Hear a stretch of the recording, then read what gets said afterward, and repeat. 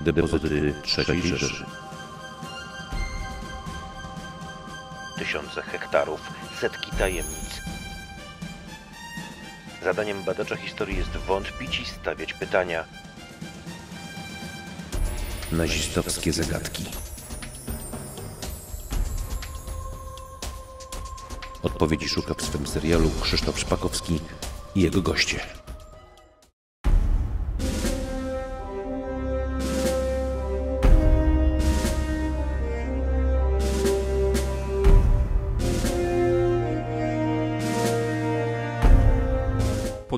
Miasto w górach Sowich. Czy istnieje? Jego odkrywca, Krzysztof Szpakowski, nie ma wątpliwości. Przekonuje również, że wybudowane przez nazistów podziemne miasto ma co najmniej trzy poziomy. Roi się w nim od korytarzy, tuneli i hal. W ostatnim czasie badacz historii z Ludwikowic Kłodzkich dokonał szeregu zgłoszeń. Formalnie i zgodnie z procedurami zawiadomił wałbrzyski samorząd o swoich odkryciach. Dotyczą poszczególnych budowli czy wejść, które do tych obiektów prowadziły. jednego z obiektów Rize, a mianowicie tego, który jest pod masywem Włodarza. Bez działu jawornickiego, bez Gontowej, bez wszystkich innych. Kamienna Góra i tak dalej, i tak dalej, bo mm, do końca nie mamy tej wiedzy, jakie to było wielkie. I pierwsze to jest Włodarz, ten, który jest turystycznie udostępniony, a więc blok C, blok D, który jest wykończony, blok y, B, blok A, wcześniej nazywany przez niektórych Moszną, moim zdaniem Moszna jest dużo wyżej, jest tu. Y, Osówka, następnie Stawy, Soboń i Zimna Woda traktuję to jako jedno zgłoszenie. Głuszyca, Głuszyca niżej i Olszyniec. Tworzy nam to wyraźnie koło, dokładny obrys, obrys masywu Włodarza z centralnym Soboniem.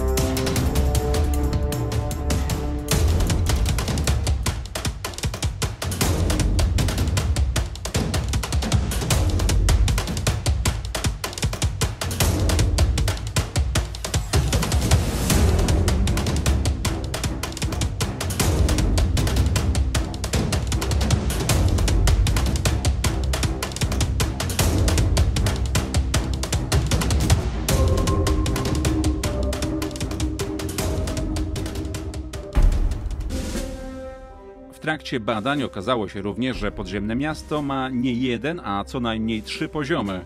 Mówił o tym już w latach 60. w wywiadzie dla Trybuny Opolskiej Tadeusz Moderski. Relacja tego naocznego świadka pracującego w podziemiach włodarza nie pozostawia najmniejszych wątpliwości. Moderski był jednym z 800 fachowców, którzy w sierpniu 1944 roku przywieziono w Góry Sowie, by pracowali wspólnie z tysiącami więźniów przy budowie podziemnego nazistowskiego kompleksu Rize. Komando, w którym mnie zatrudniono, miało za zadanie montować instalację centralnego ogrzewania. Tadeusz Moderski opowiada o labiryncie korytarzy rozmieszczonych na przestrzeni kilkunastu, a może kilkudziesięciu kilometrów, połączonych ze sobą tak poziomo, jak i pionowo. Budowa była trzypoziomowa. Moderski nie wyklucza istnienia pięciu kondygnacji. Nie jest tego pewien, bo sam pracował na trzech. O pozostałych słyszał w rozmowach z więźniami. W odległości około 500 metrów od głównego wejścia na trzecim poziomie znajduje się sztolnia wykuta w skale 50 metrów długa i 10 metrów szeroka. Montowałem w jednym z nich instalację cieplną. Bunkier posiadał ściany grubości 3 metrów, powierzchnię kilkunastu metrów kwadratowych, pułap do 7 metrów. Wejście do bunkra bronią podwójne żelazne drzwi, wewnątrz zalane betonem. Sądzę, że nawet najpotężniejszy wybuch nie zdołałby rozerwać takiego laboratorium. Bunkier wyposażony był w nieznaną mi bliżej aparaturę. Tego rodzaju pomieszczenia znajdują się na każdej kondygnacji, którym z nich jeszcze podczas mojego pobytu w Lochach miały się odbywać próby z nowymi głowicami do pocisków V1 i V2, o którym opowiadali sami Niemcy. O wielu poziomach włodarza opowiada również jeden z autorytetów w dziedzinie eksploracji, Tomasz Jurek.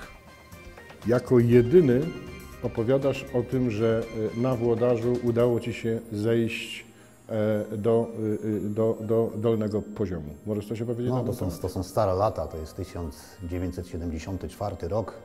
Tak mniej więcej pamiętam, może 75. A, Działałem wtedy w takiej grupie speleologicznej Nietoperz przy PTT-ku w Wałbrzychu. To była mocna grupa, bo to byli ludzie, młodzi chłopcy górnicy, którzy pracowali na kopalniach, którzy działali też w ratownictwie górniczym. A, No, bardziej nas interesowała speleologia niż podziemia, jakieś takie poszukiwanie, jak się teraz poszukuje obiektów ukrytych, jakichś podziemnych y, skarbów, depozytów i tak to była speleologia. E, No i Włodarz był takim jednym z miejsc zainteresowania naszego. I tu taki nieżyjący już Krzysztof Cieszkowski, on pracował w telekomunikacji na górnictwie. Jeszcze Paweł Drymluk był, e, był prezesem e, w swoim czasie właśnie w naszym klubie w Nietoperzu. Pokazali mi taką miejscówkę, był to taki chodniczek minerski, e, który przy bocznej ścianie schodził pod kątem gdzieś tak 45 stopni, schodził pod ziemię. Tam spływała woda, bo reszta chodników była sucha, którymi, znaczy do, do którymi dochodziliśmy mniej więcej do tego miejsca. E, No i tam się można było na linach zsunąć na dół po tym błocku, zjechać na dół, na dupie za przeproszeniem na, niżej. No i co się okazało? Tam się zjeżdżało do gotowego chodnika wybetonowanego, e, który miał pełną infrastrukturę. Był ten między stropu góry, były rury, były, Już było, wykończone były. tak, było kablowania na ścianach, e, były blachy przykrywające kanał odwadniający, tak pamiętam po przeciwległej stronie tego chodnika, co się zjeżdżało. No i co ciekawe, ten chodnik był odstrzelony z dwóch stron. Był rumorz betonu, skał, zbrojeń i tak dalej. Ale co ciekawe, że ta woda, która spływała na dół, ona się dostawała do tego przykrytego właśnie odwodnienia i spływała gdzieś dalej. Spływała. Czyli można było od razu jak gdyby domniemywać, że mm, ten chodnik jak gdyby miał dalszy swój ciąg, był połączony z... Tak, tak. Czyli Takie- był gotowy... takie same gotowy, kanały są tutaj w portierni tej gotowy, po lewej stronie. odstrzelony Tak. chodnik, nie? tak. No nie wpadło nam wtedy do głowy, żeby podnieść te pokrywy i gdzieś się przedostać pod tymi blachami, choć z punktu widzenia dzisiejszego to by było bardzo fajne i logiczne, bo chodniczki są dość spore, te odwadniające i można by było się faktycznie, może w wodzie, ale i przedostać tam gdzieś dalej. No nas zablokowało to, że były te odstrzały i po prostu odstąpiliśmy. Ja w, tym, w tej miejscówce byłem dwa razy z tego, co pamiętam. I potem jakiś czas żeśmy tego miejsca w ogóle nie odwiedzali. I w momencie, kiedy, kiedy zaczęła się tu jak gdyby przygotowanie obiektu pod sprawy i tak dalej, to już to ten temat gdzieś zniknął. Nie pojawiał się, No nikt woda nie przede mówił. wszystkim- przede Właśnie zastanawiam się, czy woda, się wejścia i tak, się woda czy woda, czy woda, tak, czy woda się spiętrzyła i to przykryła, czy po prostu celowo to zostało zasypane. My tego nie wiemy w tym momencie, nie? To jest bardzo taki dziwny motyw. Co ciekawe, że o takich, e, o takich właśnie studniach, zejściach na dół, to dla mnie to był chodnik minerski typowy, czyli po prostu ci, co wysadzali ten chodnik, wycofali się tą upadową e, cieniutką. E, Ona miała gdzieś średnicę jednego metra. Potwierdzają te moje jak gdyby spostrzeżenia i to, że te ci świadkowie mówią o tych przejściach przez Spąk, moje spotkania z Adolfem Chrycykiem. To był człowiek, który był głównym inżynierem wentylacji w Dolnośląskim Zagłębiu Węglowym. Miałem okazję poznać tego człowieka. On się tak gdzieś pół roku przed śmiercią się otworzył, zaczął rozmawiać o pewnych rzeczach bardziej wcześniej. Się okazuje, bał się o swoje życie do końca. Tak. A po prostu te informacje, które on miał, miał kontakty z Niemcami, z Rosjanami, jeszcze swojej, swojej pracy na kopalniach w latach 50., 60., gdzie oni jeszcze pracowali na kopalniach, nadzorowali kopalnie. E, i No i nie chciał po prostu stracić życia, mówił, że no, to, to były tak istotne informacje, że no, bał się Tak, to, to komukolwiek ciekawe. ujawniać Ci ludzie, dalej. którzy mają informacje, to E, No i on mówił, on mówił zawsze, że jeżelikolwiek, jeżeli kiedykolwiek będziecie chcieli jeszcze szukać jakichś przejść do innych poziomów i tak dalej, no to musicie szukać tego nie po bocznych ścianach i tak dalej, tylko szukać tego spongu. To będzie, mówi, na podłodze, tam gdzie chodzicie, tam będą przejścia niżej. To mogą być syfony. Niemcy to studowali pod e, motywacją mm, obrony przeciwatomowej. Oni pod koniec wojny wiedzieli, że może być broń termojądrowa użyta. I oni bardzo dużo schronów budowali. Nawet na 3000 ludzi, na 2000. To jest niemiecka sztuczka. Bije przekop, nie? I ostatni ostrzał zostawia. Następnie albo w spąk, albo strop, albo ocios, bije przekopik, jedzie tym przekopikiem kawałek i za nim, za tym zawałem wchodzi do tego. I teraz, jeżeli ja się wycofuję, to ja tutaj ten odcinek muruję. Jeżeli pan nie ma planów, to pan nigdy musiałby cały mur zrywać, nie? Aż do końca, nie? Żeby się dostać do tego, do tego wejścia, nie? On wspominał też o tym, że są niższe poziomy, że istnieją te niższe poziomy i że on na takim poziomie, na takich poziomach był z Rosjanami ze względu na to, że był w swoim okresie pełnomocnikiem wojewody wałbrzyskiego do spraw ukrytych zabytków i obiektów podziemnych. Jak gdyby nadzorował wszystkie takie prace w dziwnych takich rzeczach, które były nie do końca sprawdzone. E, A ponieważ miał dobre kontakty z Rosjanami, to też tam, gdzie oni chcieli, coś szukali, a potrzebowali człowieka, Polaka zaufanego, to go brali do tego. No i on mówi, że był na takim poziomie, który łączył wszystkie kompleksy podziemne Rize. No to wtedy nie mówił nawet Rize. Tak. Adolf nie mówił Rize, tylko te, te obiekty podziemne. Fizycznie potwierdził, że, że coś takiego jest, że te kompleksy są połączone i jest taki poziom. Że jest taki poziom łączący kompleksy. No tak, tak wynika z moich informacji, tak wynika z przekazów. Tak jak mówię, no ja w tej chwili zgłosiłem e, 8 takich wejść konkretnie pod masyw włodarza e, i konkretnie niższe poziomy, e, bo mamy je i namierzone. Poza tym wynika to z ukształtowania. Wiadomo, że tunele kolejowe wjeżdżały i, i, i, i to jest dokładnie jeszcze poziom niżej, więc mamy co najmniej trzy, co najmniej trzy poziomy. Z założenia było coś takiego, że mm, lokowali tę produkcję, obiekty podziemne na poziomie 400 i wyżej, nie? Tak. A z kolei właśnie Adolf mówił, że poziom 600 to już były typowe tylko i wojskowe. Czyli już nie były po poziomu 600 w górę, e, nie było obiektów produkcyjnych, tylko były obiekty wojskowe. Twoim zdaniem, gdzie będzie najłatwiej wejść pod masyw włodarza z tych wszystkich obiektów? Nie wiem, które ja mam znasz? takie intuicyjne przekonanie, byś typował? przekonanie i to dawniej już kiedyś mnie to tak jak gdyby ciągnęła intuicja, że jest, są wejścia przez obiekty, które odprowadzają wodę z obiektów. Dlatego, że mm, jest to tak robione na świecie, czyli te Oczywiście. obiekty o- podziemne, które znamy z terenu Niemiec, z Czech, najłatwiej do takiego obiektu ukrytego dostać przez oby wejście wodne. Ale ogólnie mamy też takie mm, ujęcia wody tu w naszej okolicy, które są zabudowane na sztolniach dawnych kopalnianych. Tak, Nie? Czyli tak. nie jest wykluczone, że gdzieś jakieś ujęcia wodne są zabudowane właśnie na, na najniższym poziomie e, i odwadniają podziemia. Nie? Które miejsce byś typował konkretnie? No typowałbym, tu jest takie kilka miejsc dziwnych jeszcze takich na Włodarzu, które mnie interesują, o czym zresztą wcześniej rozmawialiśmy, na przykład właśnie rejon Żabnika, nie? gdzie właśnie w tamtych latach 70. też wchodziliśmy, wchodziliśmy w tak zwane lisie nory, bo to były takie praktycznie osypujące się chodniczki, e, gdzie się waliły belki, e, stemple, gdzie spadały kamienie na głowę. E, Dzisiaj bym już tam nigdy nie wszedł, ale człowiek był młody i po prostu inaczej to traktował i się tam gdzieś wciskał w te dziury.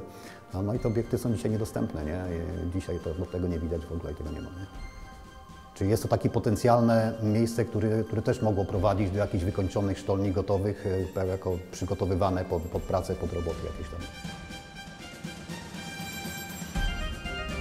Niezależnie od obiektów na niższych poziomach, większość zgłoszeń dotyczy zamaskowanych obiektów na poziomie sztolni, udostępnionych turystycznie.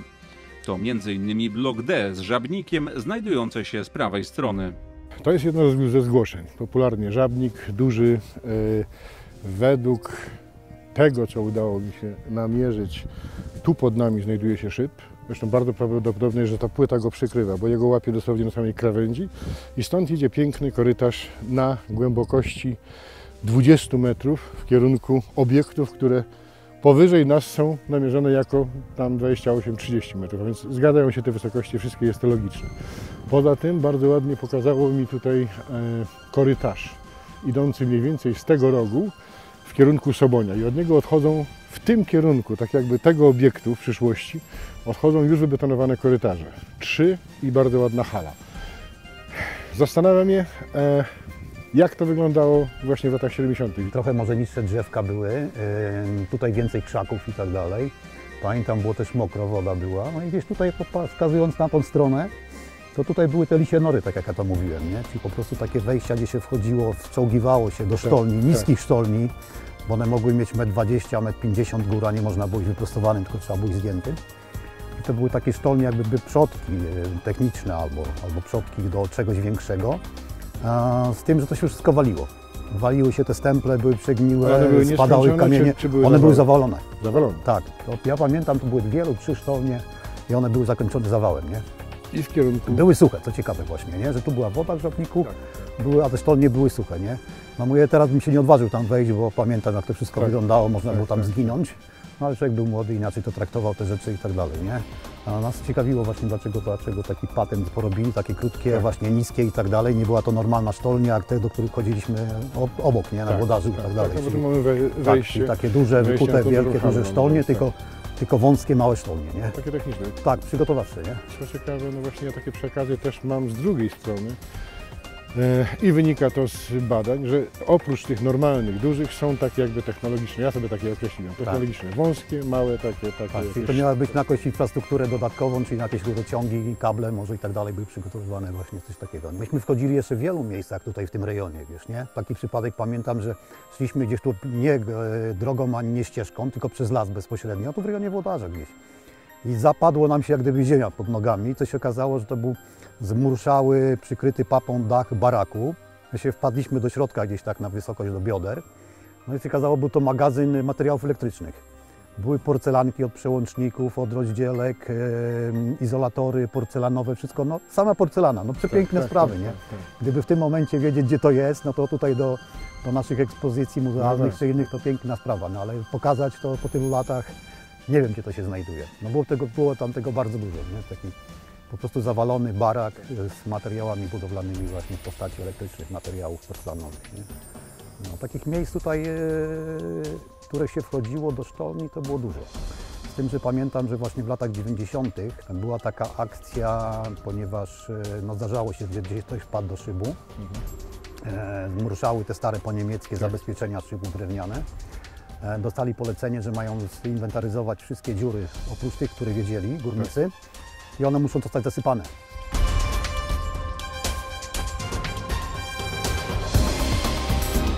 Jest to jeden z ciekawszych elementów moich zgłoszeń. Jesteśmy w Kolcach. Od kolei, e, która biegnie tutaj równolegle e, do tego wykopu, odchodzi tor, który tym wykopie coraz głębiej schodził i wchodzi tutaj nieopodal w podziemie. Z przekazów również wynika, że coś tutaj było, że była jakaś stacja, jakaś podziemna kolejka wąskotorowa, nie wiem dokąd e, prowadzi dokładnie ten wlot, ale na pewno powiązany jest z Rize. Tajemnice podziemnego miasta Włodarz, które ma kilka poziomów, usiłują rozwikłać również inni eksploratorzy.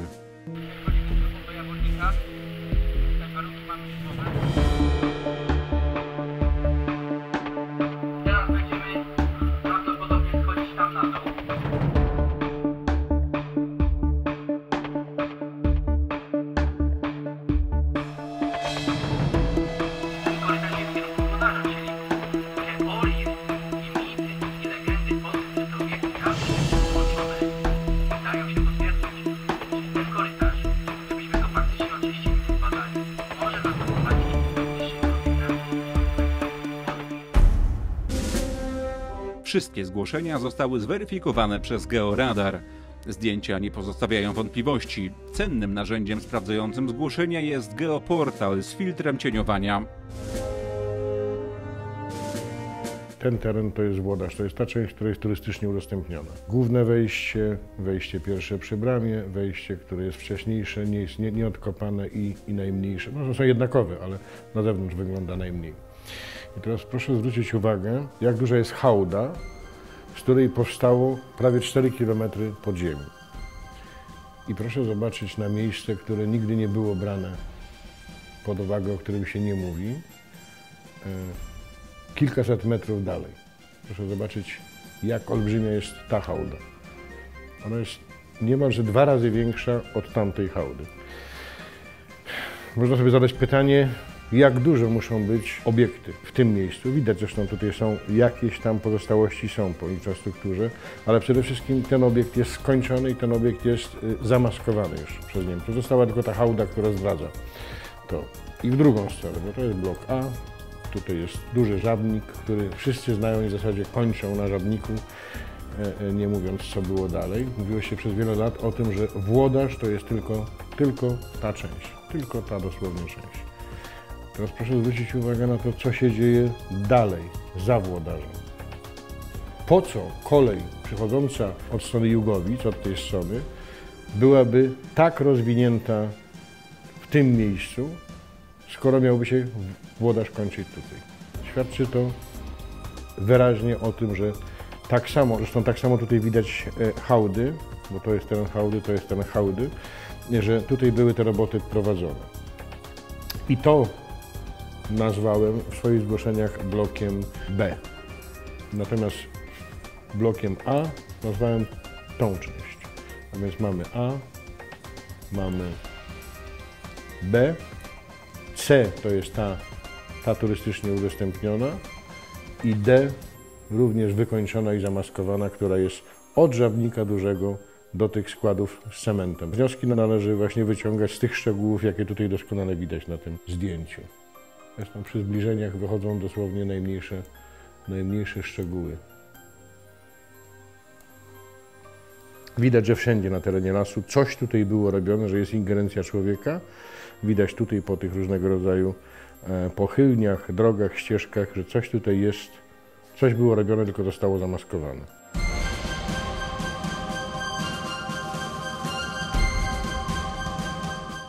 Ustaleń Krzysztofa Szpakowskiego wynika, że w roku 1943 zapadła decyzja o budowie podziemnego obiektu wzorowanego na wcześniej powstałych w Niemczech. Ten w górach Sowich przyjął nazwę Rize, czyli Olbrzym. Zaadoptowano wcześniej powstałe tu podziemne obiekty jak wyrobiska i tunele. Sercem Rize miała być wybudowana wcześniej podziemna tajna fabryka Nobel Dynamite. Powstała przy najnowocześniejszym w tamtym okresie centrum przemysłowym w Ludwikowicach Kłodzkich. Obiekty te, według Krzysztofa Szpakowskiego, miały służyć prowadzeniu dalszych prac badawczo-rozwojowych nad Wunderwaffe, czyli głównie nad bombą atomową oraz rakietami V2, V3, a nawet V5, potrzebne do przeprowadzenia globalnego ataku nuklearnego. Podziemne miasto Rize miało służyć również jako miejsce dowodzenia oraz schronienie dla nawet 100 tysięcy nazistów w razie odwetowego ataku nuklearnego aliantów. Masyw Włodarza to 2,5 tysiąca hektarów. Wielka przestrzeń i tyle samo tajemnic. Dowodem na to jest działalność tak zwanych strażników, strzegących do dziś depozytów i tajemnic III Rzeszy. Bardzo często są to ludzie mieszkający wśród nas. Posługują się sobie tylko znaną wiedzą, a działalność ich zdradzają znaki na drzewach, między innymi takie jak ten. Co ciekawe, znaki są odnawiane do dnia dzisiejszego. Ale o tym opowiem w następnym odcinku mojego serialu Depozyty III Rzeszy. Dziękuję za uwagę, Krzysztof Szpakowski.